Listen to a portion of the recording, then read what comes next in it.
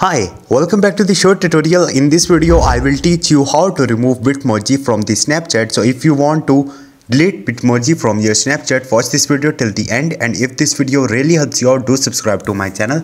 So let's start the video. First of all, you have to open your Snapchat mobile application, log into your account.